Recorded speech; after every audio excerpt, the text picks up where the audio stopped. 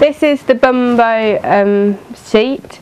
She's had it from about six months and she did love to sit in it then and she still at 18 months loves to sit in it. She sits and reads her stories in it. She just can't still quite get out of it though um, because of the angle and occasionally she has thought it's a potty but that's not a major deal. It's very handy when we go travelling we take it as a high chair because it is so light and we can pack things around in the bottom and it saves a lot of space so she's used it as a high chair a lot when she was younger.